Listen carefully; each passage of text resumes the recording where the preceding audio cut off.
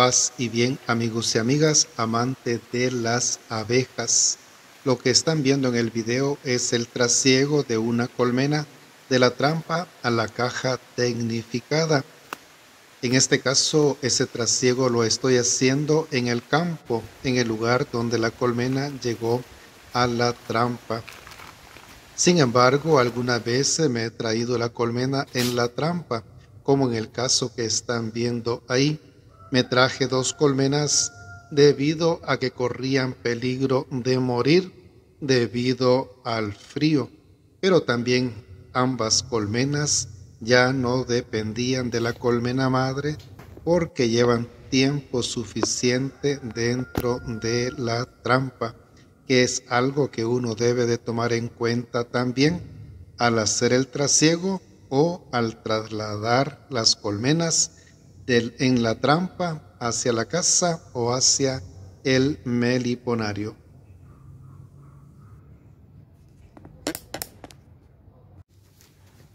Pues voy a proceder a hacer el trasiego de esta colmena, pasarla a caja tecnificada. Me imagino pues de que ustedes ya han visto muchos trasiegos de colmenas de las trampas a las cajas tecnificadas no es nada nuevo para ustedes. Sin embargo, pues cada día aprende uno cosas nuevas, ¿verdad? Lo que les dije anteriormente, pues hay que tomarlo en cuenta, de que la colmena tenga el tiempo suficiente dentro de la trampa. Algunos recomiendan que no hacer el trasiego menos de tres meses de que la colmena haya llegado a la trampa. También hay que fijarse si la colmena depende o no de la colmena madre y esto se nota, según dicen, cuando las abejas ya entran polen a la colmena que está en la trampa.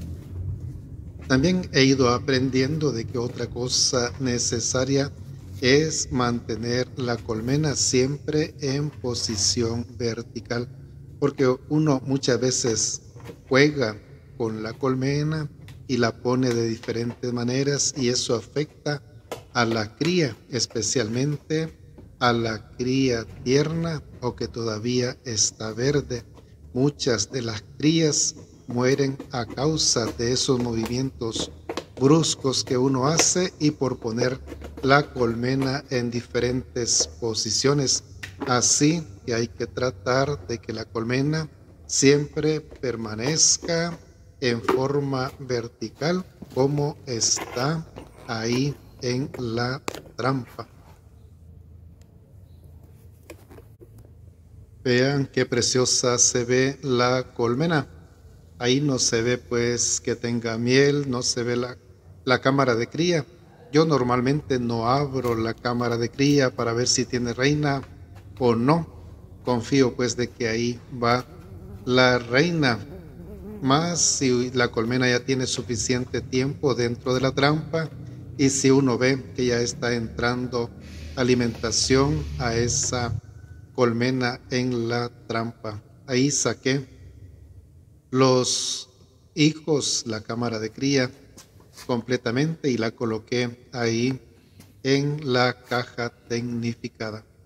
Y lo que estamos viendo ahorita es la miel, parte de ella, ¿verdad? Que quedó en la trampa. Una parte de esa que no fue muy afectada, se la voy a colocar a la colmena. Y eso pues recordándole siempre, ¿verdad? De que no es recomendable colocarle alimento a la colmena el día que se hace el trasiego, ya que eso hace que llegue la mosca foride a dicha colmena y así la afecta. En este caso, yo le voy a colocar porque no hay mosca foride.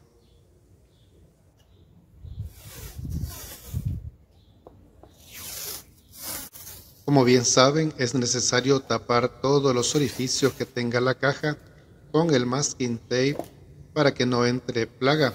Además, para que no se muevan las alzas de la Un amigo me preguntó que al cuánto tiempo después se le quita el masking tape.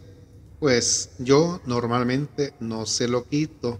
Cuando abro la colmena y la reviso, siempre le vuelvo a poner masking tape, pero en el caso de la tetragonisca angustula, ella pega bien las alzas con el propóleo, así que solo es necesario colocarle el masking tape mientras ella se adapta a la caja. Si está fuerte, pues de abejas. Ahí estamos viendo la alimentación que yo le coloqué, un poquito de miel y también pan de abeja.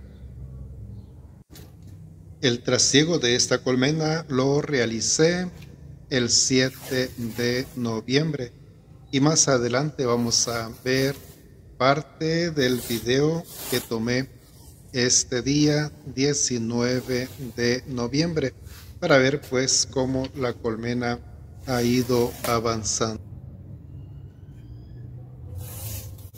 Casi todos los trasiegos que realizo siempre le coloco nada más a la colmena el alza de nido y sobre nido, que tenga poco espacio por si acaso llegara la mosca foride, las abejas la pueden controlar. En este caso le coloqué también el alza mielera. No tengo pues problema con la mosca foride, por eso lo hice, pero no es recomendable dejarle mucho espacio a la colmena, porque eso contribuye a que si llegara la mosca, entonces que eso le cueste a la colmena controlar a dicha plaga.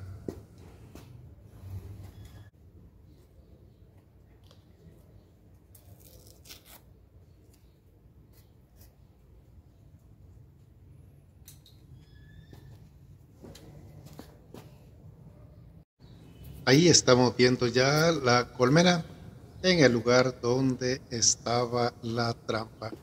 Ya las abejitas se encontraron el agujero por, por donde pueden entrar y salir a la colmena. Vemos pues de que muchas de ellas están llegando ya a su nueva residencia.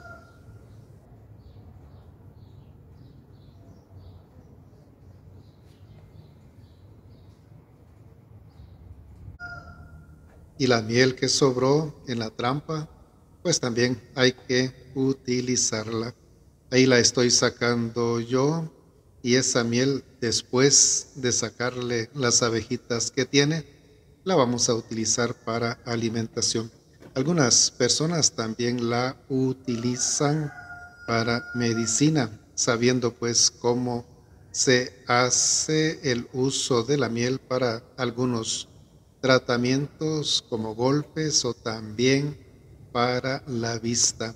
Ahí vemos la miel que está llena pues de abejitas. Esas abejas hay que salvarlas. Y a los 12 días después revisé la colmena. Solo le revisé en el alza de miel y me di cuenta de que todavía no la ha utilizado la colmena. Solo está utilizando el alza de nido y sobre nido.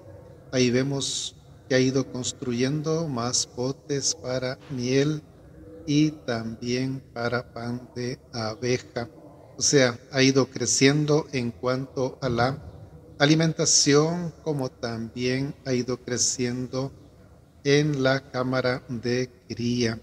El alza mielera pues no la ha utilizado, sino que más bien las aberturas que tenía las ha tapado con propóleo.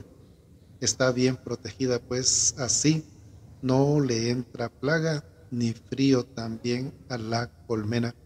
Como les dije anteriormente, lo mejor hubiera sido dejarla con nido y sobre nido nada más, ya que vemos que todavía no ha utilizado el alza mielera. Poco a poco irá creciendo y la va a utilizar. Y así está la colmena exteriormente. Me alegró de ver el movimiento que hay de abejas entrando y saliendo a la colmena. Eso quiere decir de que están encontrando alimentación para poder llevar a la misma. Bueno, amigos y amigas, espero les haya gustado el video y que cada día vayamos aprendiendo más sobre las abejas. Bendiciones.